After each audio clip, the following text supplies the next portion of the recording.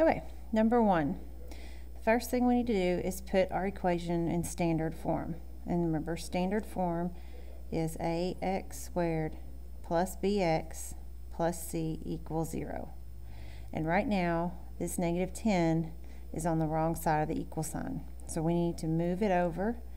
And remember, when it goes across the equal sign, you have to change the sign.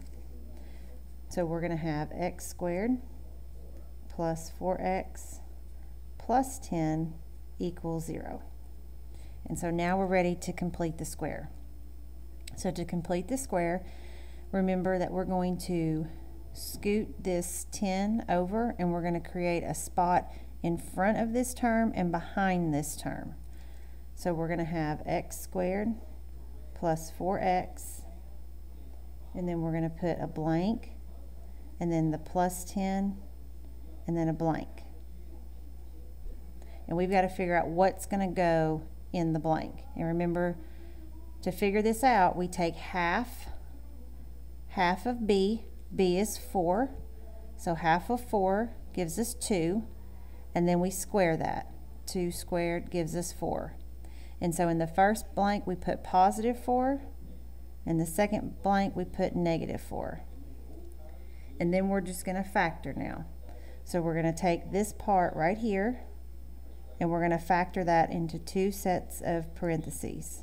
And we're looking for factors of 4 that will add to give me 4. remember that's 1 and 4 and 2 and 2. And so the fact the ones that are going to add to give me 4 are 2 and 2.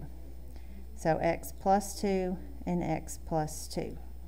And then we're just going to do this um, calculation 10 minus 4 is positive 6.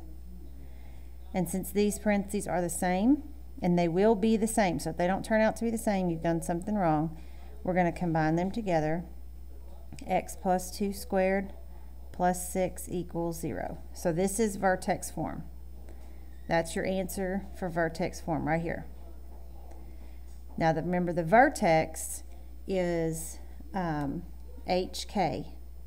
So what I would recommend that you do is figure out what A equals, H equals, and K equals. It doesn't ask for this, but on all of our quizzes and our homework, this is what we did. So remember, A is in front of the parentheses, so that's 1. H, H is the opposite. So it's the opposite of what's in the parentheses, which is negative 2, and K is 6. So the vertex is negative 2, 6. So we're going to put that here. Axis of symmetry, remember the axis of symmetry is always x equals h. So since h is negative 2, this is going to be x equals negative 2.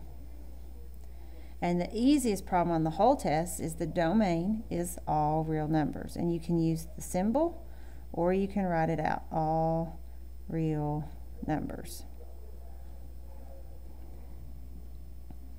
To find the range, remember it's your y values. And we're going to look back at A. Since A is positive, that tells me that my graph is going to open up like this. So my vertex is down here, which means it has a minimum.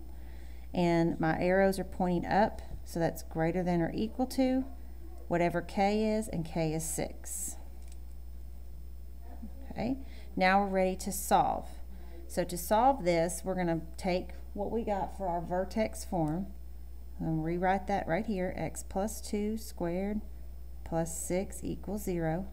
Some of you, when we did this before, you change the sign, leave it exactly like it is to solve this. So remember, the first thing we want to do is we want to get rid of k. So we move it to the other side, and when you do, you change the sign. So x plus 2 squared equals negative 6. The next thing we want to do is get rid of the square. So we take the square root.